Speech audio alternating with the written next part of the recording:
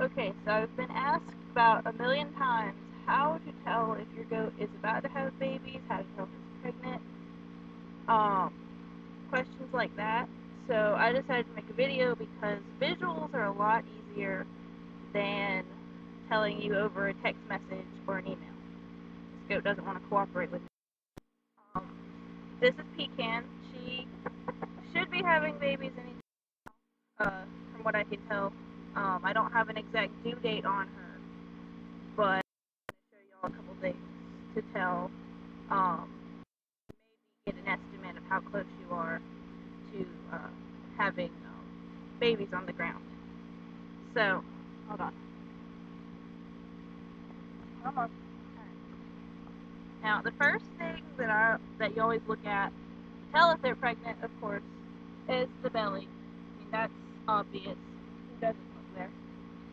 The next thing you want to look at is the udder. Alright.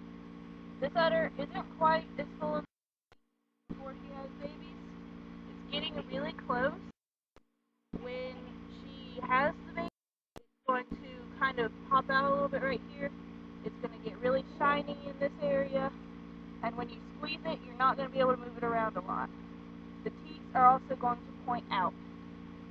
Like with her, they're kind of downward, but they're going to start pointing out because it's really tight and the pressure is going to build up. This area, you're going to see mucus.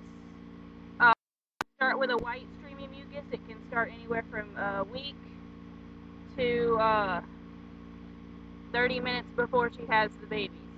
You never know from the mucus. You just know, hey, they're going to be here sometime.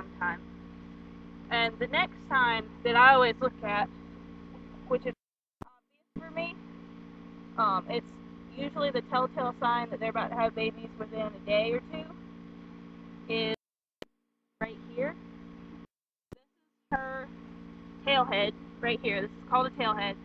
This is uh, area in here is called the hook to pins. You can see the angle that it's at right now. This means she's not going to have babies quite yet. Um, when it goes down at an angle about this, the tail head's going to be up really tight to the body. Um, the hook to is going to be very slanted compared to what it is right now. Um, that's what you really look for. Um, right now, yeah, she's not near it. And then another thing around the tail head is it starts getting a little mushy closer to uh, time to kid. Uh, right in here, you can feel around the tail head.